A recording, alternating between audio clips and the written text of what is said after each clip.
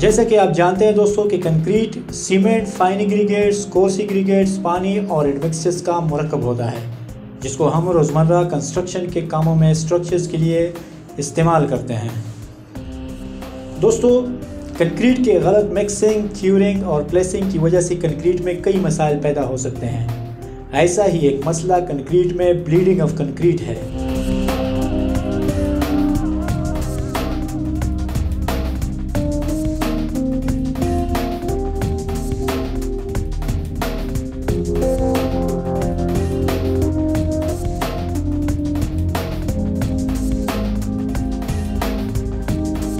Concrete bleeding concrete casting के दौरान एक ऐसा अमल है कि जिसमें कंक्रीट के मिक्स में से आज़ाद और फ्री पानी ऊपरी सतह की तरफ़ उठ जाता है, जिसकी वजह से कंक्रीट की सतह पर सीमेंट का एक पेस्ट बनता है, जिसे लाइटेंस कहा जाता है।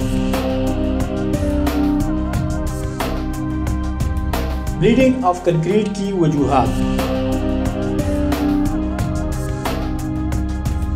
ब्लीडिंग ऑफ़ कंक्रीट का अमल इस वक्त शुरू होता है जब कोर्स एग्रीगेट नीचे सेटल हो जाते हैं और फ्री वाटर ऊपरी सतह की तरफ़ आने की कोशिश करता है। नीचे से ऊपर की तरफ़ जाते हुए पानी की ये हरकत कंक्रीट के अंदर मुसलसल चैनल्स बनाती है। अगर इस्तेमाल शुदा पानी के सीमेंट का तनासब यानी water cement ratio point six या इससे ज़्यादा हो तो ब्लीडिंग का सिलसिला जारी रहेगा। इसलिए हम ये कह सकते हैं कि कंक्रीट ब्लीडिंग दरअसल कंक्रीट में सिग्रीगेशन की वजह से होता है, क्योंकि आप जानते हैं कि सिग्रीगेशन वो अमल है कि जिसमें कंक्रीट के अज्जा अपने आप को एक दूसरे से अलग कर देते हैं। इसलिए सिग्रीगेशन की वजह से कोर सिग्रीगेट दीगर अज्जा से जुदा होकर कंक्रीट के नीची सतह पर बैठ जाते हैं, जबकि पानी ऊपरी सतह पर उठ जाता है। पानी की ये ऊपर की तरफ़ हरकत अपने साथ सीमेंट के बारीक ज़र्रात भी ले जाती है। इसलिए हम कह सकते हैं कि जब पानी और सीमेंट का तनासब ज़्यादा हो तो कंक्रीट ब्लीडिंग भी ज़्यादा होती है। इसके अलावा इस्तेमाल शुदा सीमेंट की किस्म और फाइन एग्रीगेट्स की मकदार भी कंक्रीट ब्लीडिंग में कलीदी किरदार अदा करती है। कंक्रीट ब्लीडिंग के असरात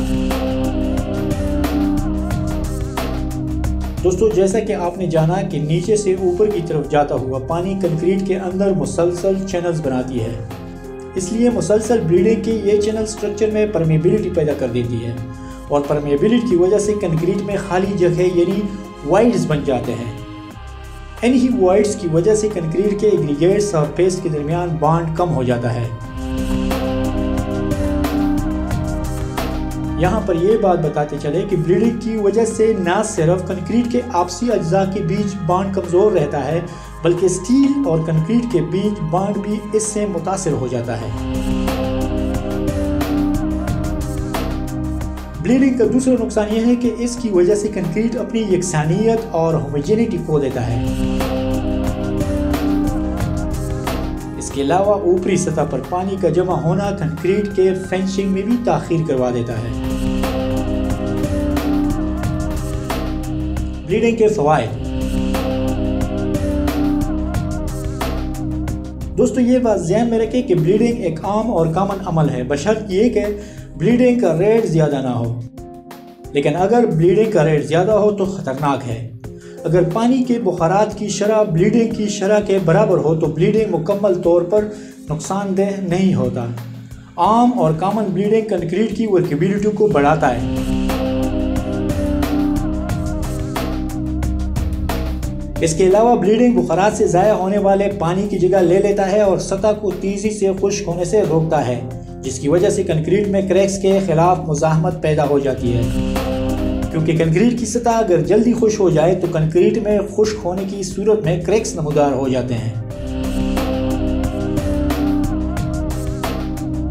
ब्लीडिंग ऑफ़ कंक्रीट को कम करने के तरीके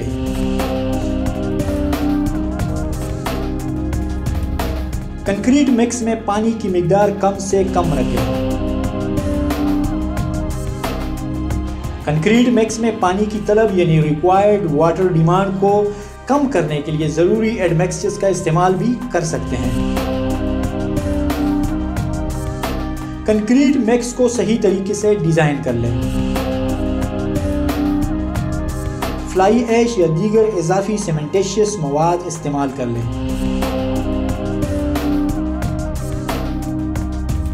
एयर एंड ट्रेनिंग एडमेक्सिस का इस्तेमाल भी ब्लीडिंग को कम करने में मौसर होता है। ज़रूरत महसूस हो तो मिक्स में मज़ीद सीमेंट डाल लें।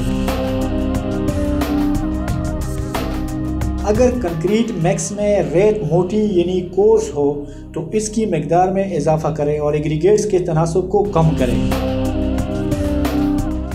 दोस्तों, ये था हमारा आज का टॉपिक उम्मीद है आप लोगों को पसंद आया होगा। हमारे चैनल को सब्सक्राइब कर लें और बेल आइकान को भी प्रेस कर लें ताकि हमारी हर नई वीडियो आप तक पहुँचा करें। मिलते हैं एक नई वीडियो के साथ। तब तक अल्लाह हाफिज़।